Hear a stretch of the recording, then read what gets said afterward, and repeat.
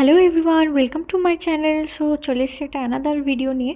So আজকে আমি বানিয়েছিলাম স্যান্ডউইচ একদম দু মিনিটের স্যান্ডউইচ মানে এত তাড়াতাড়ি স্যান্ডউইচ সত্যি তৈরি করাটা মানে খুব ডিফিকাল্ট সো এখানে যার যা সবজি দেবো, পেঁয়াজ, শসা কর্ন আর গাজর, টমেটো, এগুলো সব আমি কেটে নিয়েছিলাম। কেটে না নিলেও কাটতে বেশি টাইম লাগে। তো পেঁয়াজটা কেটে নিতে পারো। বাকি আর সেরকম কিছু কাটার মতো নেই। জাস্ট গ্রেটার দিয়ে গ্রেট করে নাও। টাইম দেখবে এত ইজিলি বেঁচে গেছে। জাস্ট ইম্যাজিনও করতে পারবে না। এখানে আমি গাজর, শসা দুটোই আমি গ্রেটার দিয়ে মানে গ্রেট করে নিয়েছি। টমেটো আর পেঁয়াজটা শুধু কেটে নিয়েছি, যেটা কাটতে হার্ডলি দু মিনিটও লাগে না দু চার মিনিট আর কি। তো আর কর্ন তো কাটার মতো কিছু নেই। তো সব সবজিগুলোকে আমি একটা বলে নিয়ে নিয়েছি আর তার আগে আমি দিয়েছিলাম একটু মেয়োনিস, এক চামচ মতো মেয়োনিসটা বেশি দেয়নি আর এখানে আমি যেহেতু চিজ দিচ্ছি চিজটাকেও কিন্তু আমি গ্রেট করে নিয়েছিলাম। এটা কিউব চিজ ছিল, এটাকে আমি গ্রেট করে নিয়েছি। দেখো পুরো মজরেলার মতো লাগছে, বোঝাই যাচ্ছে না। ব্যাস সব কিছু একসাথে দিয়ে আমি এখানে শুধু নুন আর এর সাথে অ্যাড করব আরও একটা জিনিস, সেটা হচ্ছে গোলমরিচ। ব্যাস, এই দুটো জিনিস দিলেই কিন্তু আমাদের স্যান্ডউইচের ভেতরের পুরটা রেডি হয়ে যাবে। বাস দেখো এখানে সব কিছু আমি মিক্স করে দিয়েছি। গোলমরিচও দিয়ে দিয়েছি। এবার একটু চামচ দিয়ে ভালো করে মিক্স করে নেব জাস্ট আর শশা কাটলে যেহেতু অনেকটা জল বেরোয়, তো আমি জলটা আলাদা করে চিপে ফেলে নিয়েছি। তাতে মিক্সচারটা জল জল হয়ে যাবে না।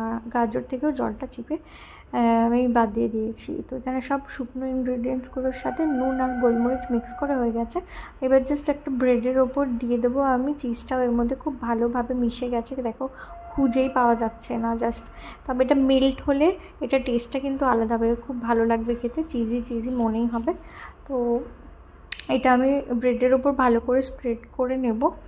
তো অলমোস্ট হয়ে গেছে আমার ব্রেডের ওপরে স্প্রেড করা, এবার আর একটা ব্রেড দিয়ে আমি এটার ওপরটা চাপা দিয়ে দেব। তো চাপা দিয়ে দেওয়ার পর জাস্ট কিছুই না, বাটারটা একটুখানি কড়াইতে বা তাওয়ায় দিয়ে একটু হালকা গরম করে নিতে হবে আর ভালো করে পুরো স্প্রেড করে দিতে হবে কড়াই বা তাওয়া যেখানেই দাও না মানে রুটিটা তোমরা শিখবে না কেন? তো যাতে এটুকু খেয়াল রাখতে হবে পুরোটাই যাতে বাটারটা থাকে, তাহলে পুরো রুটিটায় বাটারটা লাগবে আর খেতেও টেস্টি হবে। তো আমি রুটিটা আমি বসিয়ে দিয়েছি কড়াইয়ের মধ্যে আমি কড়াইতেই করেছি। তোমরা চাইলে তাওয়াতেও করতে পারো। জাস্ট দু মিনিট লাগে, বেশিক্ষণ না। দু মিনিটে ম্যাগি হয় না বাট স্যান্ডউইচ ডেফিনেটলি হবে।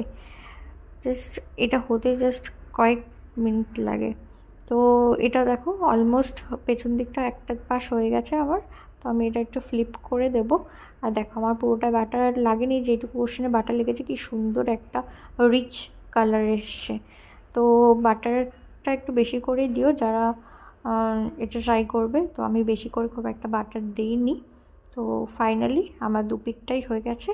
Now ready my sandwich cheese corn whatever veg sandwich যা ইচ্ছা বলতে পারো। জাস্ট দেখো কি সুন্দর হয়েছে। আর খেতেও দুর্দান্ত হয়েছিল।